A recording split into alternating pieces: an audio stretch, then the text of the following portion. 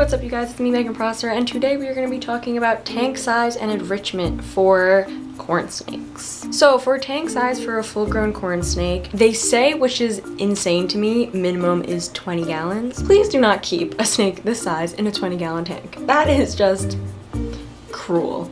Absolutely not. Currently, Shiloh is in a 40 gallon and that is too small in my opinion. He doesn't mind it. He explores a bunch and he likes it, but he looks huge in it still. So I am currently working on getting him a 75 gallon. I'm gonna be posting a video about the setup and everything when I do get him his 75 gallon tank. But in my opinion, anywhere from 40 to 75 gallons is the perfect size for these guys. In my opinion, again, bigger the better. So if you can get them a big old tank, that would make them so happy. So bigger the better. And as far as enrichment goes, these guys are so curious and they love, love, love, love, love to explore. So be sure to change up the way your ornaments are set up and stuff like that in the tank because they like a change of scenery and they're very curious and again, they love to explore.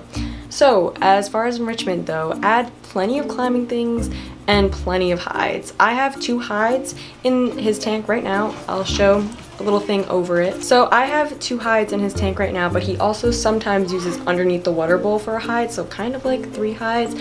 But he has a hot hide and then a hide just in the middle of the tank, which is like, I guess, medium hot just a random hide. And then his underneath the water bowl would be his cool hide because it stays really nice and cool under there for him. So plenty of hides. I have driftwood in there. I have two pieces of driftwood. I have paper towel rolls because he loves going in and out of them.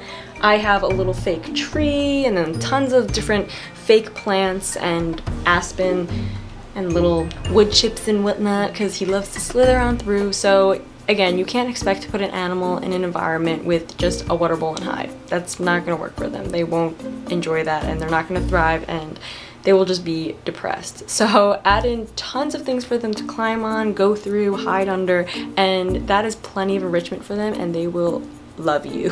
they will definitely 110% thank you for that. So that's pretty much it for today's video. I hope you guys enjoyed it and I'll see you guys tomorrow with the next video all about corn snakes and their care requirements. So like, comment, and subscribe and see you guys next time. Bye.